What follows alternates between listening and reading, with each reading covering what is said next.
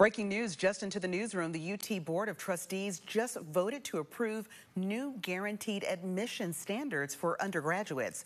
We've been telling you about this proposal. All UT undergraduate campuses will now guarantee first year admission to all Tennessee high school students who either finish in the top 10% of their high school's graduating class or achieve a 4.0 or higher cumulative GPA.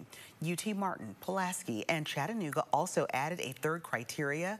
If you achieve a 3.2 or higher GPA and have an ACT composite score of 23 or higher, you'll automatically qualify. Again, the board approved these new admission standards at a meeting this morning.